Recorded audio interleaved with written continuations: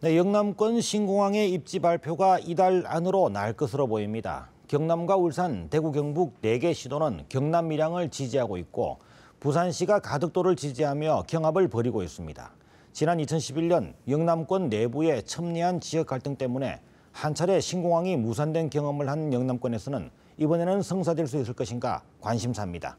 취재 기자와 자세한 이야기 나눠보겠습니다. 자, 오종호 기자. 네. 정부가 이달 안으로 영남권 신공항 입지를 드디어 발표할 것으로 한다는 예상이 아주 유력한데요. 어, 영남권 신공항 왜 필요한 것이고 그동안에 어떤 경과를 거쳐서 추진이 되어 왔는지 우선 정리를 좀 간단히 해주시죠. 예, 영남권 신공항은 경남 등 다섯 개 시도가 제2의 관문공항을 만들자는 것입니다. 영남권만 1,300만, 호남을 포함한 남부권까지 2천만 명이 인천공항까지 가야 하는 불편을 없애고 항공 화물 수송 등 하늘길도 열어 수도권과의 격차를 줄이겠다는 겁니다. 지난해 1,093만 명이 이용한 김해공항. 지난 한 해 항공기 운항 횟수는 8만 5천 회를 넘었습니다. 김해공항은 7년 뒤인 오는 2023년엔 포화 상태가 됩니다.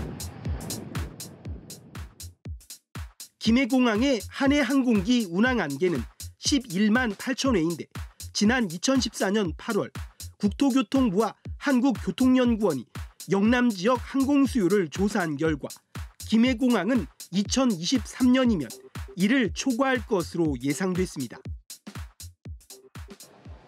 현재 김해공항 시설로는 영남권에서 급증하는 항공 수요를 맞출 수 없게 되는 겁니다.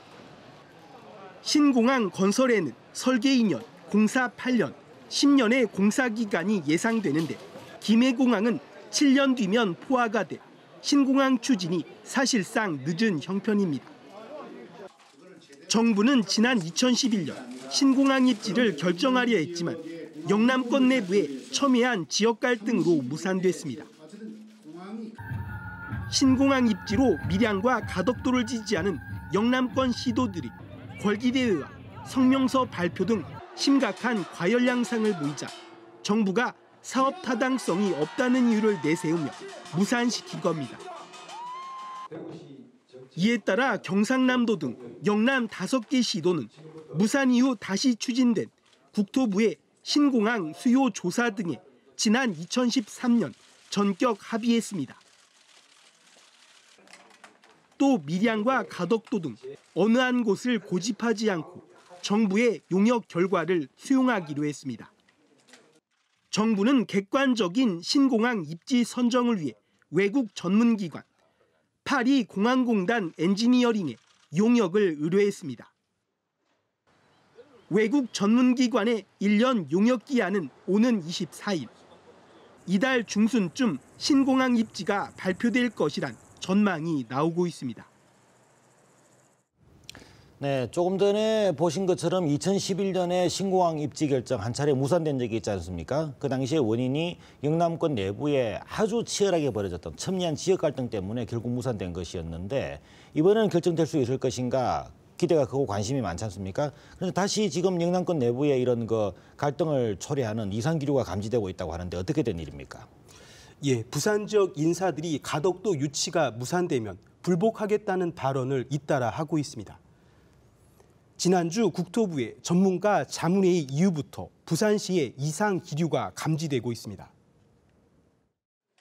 국토부의 신공항 전문가 자문회의가 끝난 직후인 지난달 28일 부산에서 열린 새누리당 의원들과의 회의에서 부산시 고위공직자는 용역 결과 가덕이 아니라 엉뚱한 결과가 나온다면 부산시는 결과에 승복할 수 없다라는 입장을 전한 것으로 알려졌습니다.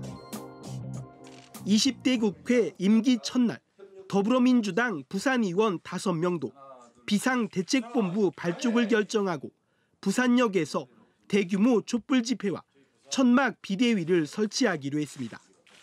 객관성과 공정성이 전혀 결여된 채로 이 정치적인 논리에 의해서 이 신공항 입지가 어, 정해지지 않을까 하는 우려. 부산 지역 시민단체도 오는 8일까지 국토부가 평가 방식을 공개하지 않을 경우 공식적으로 용역 결과 불복을 선언할 방침입니다. 산봉우리 등 장애물에 대한 평가 여부가 불투명한 상황에서 용역 결과가 밀양에 절대적으로 유리할 것이라는 예측이 깔린 것으로 보입니다. 정치적으로 하지 마라 그러면서 자기네들이 정치적으로 접근하는 거죠. 전문가 대해 자기네들이 충분히 자기네들의 장점이나 이런 걸 어필을 안 했겠습니까? 불복 선언 등을 하며 다급해하는 부산시와 달리 경상남도는 차분한 모습을 보여 대조를 이루고 있습니다. 네, 이런 그 지역 발전을 바라는 그런 그 마음은 이해를 하겠습니다만은 이런 과열 경쟁은 다시 한번 백지화되지 않느냐는 이런 우려가 크지 않습니까? 경상남도의 대응이 중요한데요. 경상남도 어떻게 대응하고 있습니까? 차분한 대응이라고 얘기를 들었습니다만은. 예, 경상남도는 영남권 시도지사 합의를 준수해야 한다며 유치 활동을 자제하고 있는데요. 현재 상황이 불리하지 않다고 보고 정부의 신공항 입지 선정 결과에 따른다는 입장입니다. 부산 가덕 신공항 시민 유치단이 국회를 찾아 새누리당과 더불어민주당 원내대표를 긴급 면담했습니다. 가덕 유치단은 정치적 고려가 개입된다면 묵과하지 않겠다고 압박했고 정치권은 원론적인 답을 냈습니다. 신공항 건설 문제는 아, 매우 민감한 아, 이슈입니다. 지역 간의 이해가 큰 그런 현안이기 때문에 매우 조심스럽게 다루어야 한다고. 경남에서는 다소 균열이 있기는 하지만 유치전을 자제하고 있습니다. 김해시의회가 가덕도를, 밀양시의회가 밀양을 지지하는 결의안을 각각 채택했고 더불어민주당 경남 다섯 개 지역위원회가 가덕도 유치를 지지했지만 경남도의회는 어떤 입장도 내지 않기로 했습니다. 경남은 5개 광역자치단체장들이 애초 모여서 지나친 경쟁을 하게 되면은 정부가 또 어려움에 처할 수 있다는 결과를 가져올 것을 예측하기 때문에 특히 지난 2011년 첨예한 지역 갈등으로 신공항 입지 선정이 백지화된 것을 되풀이하지 않겠다는 것입니다. 부산시와 지나친 경쟁도 정치적 대응도 하지 않겠다는 경남의 전략이 어떤 결과로 이어질지 주사위는 던져졌고 정부의 신공항 입지는 조만간 확정 발표됩니다.